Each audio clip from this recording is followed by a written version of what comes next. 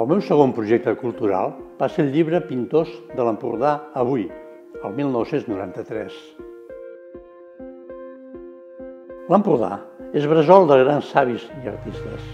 Per fer el llibre, l'aquarelista i amic Pere Coll va ser important en la selecció i Josefín de Platja d'Aro, fonamental.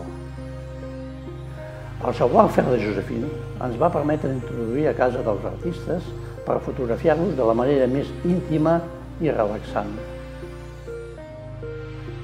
Sebastià Godall va prologar el llibre i Josep Miquel Servià, a més del segon pròleg, va fer entrevistes als artistes, conseqüència de les quals van sorgir articles molt poètics i punyents alhora.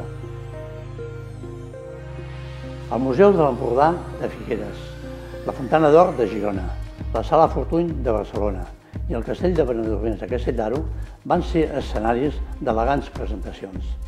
Totes elles van comptar amb la presència de destacades personalitats del món de l'art i de la cultura en general.